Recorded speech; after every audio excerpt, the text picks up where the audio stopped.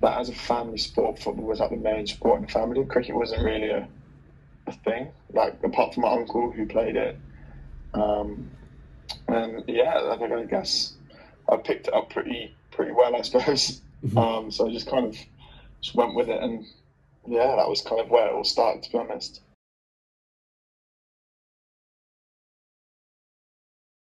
I always was like set on going to America and playing football in America and doing that. And then weirdly, like this opportunity came at Gloucester, and I kind of thought, yeah, why not? I'll just go with it. Because obviously my brother was signed at the time, so it was kind of a little bit easier. I was kind of found, kind of found it, it wasn't as daunting.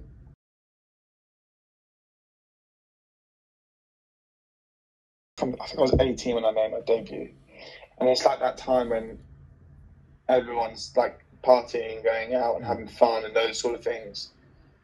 It wasn't. I couldn't really do it. It wasn't like an option.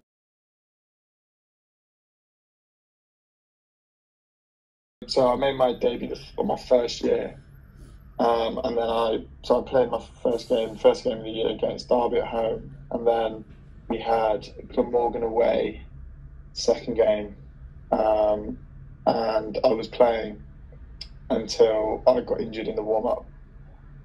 Um, and then that kind of ruled me out for most of that year because I had a stress fracture in my back.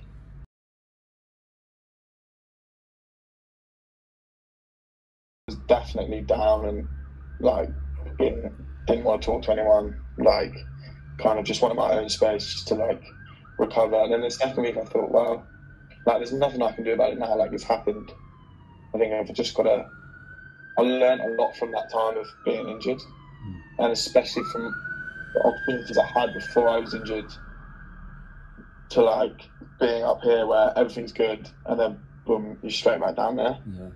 um, and you're almost starting from scratch again.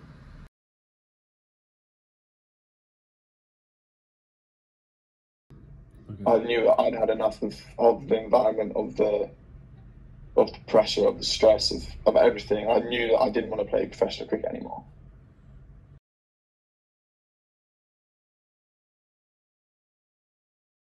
Don't get me wrong, I love playing cricket and I'll, I'll still play cricket for, for whoever, but I think that whole, like, you're on your own kind of way of doing it, do you know what I mean? Like, it was tough. I think that's what mainly pushed me away from it all.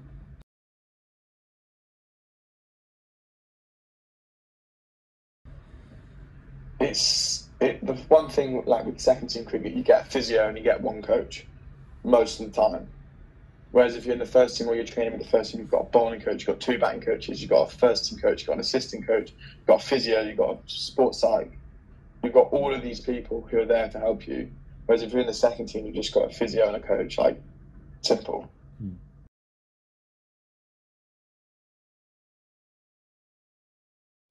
So I think it's definitely improving in terms of the support, and I think the only thing that will help it is more the more people who who are like role models almost, like seen as like the international like Ben Stokes is like the biggest one at the minute. Yeah. Like the more people like like that are honest about their experiences and where they've been and what's happened to them, the, oh, the better it's going to be. I think personally.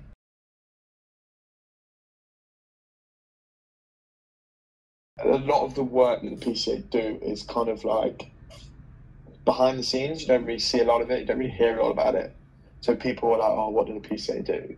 Whereas actually, they're really influential in a lot of cricketers' careers.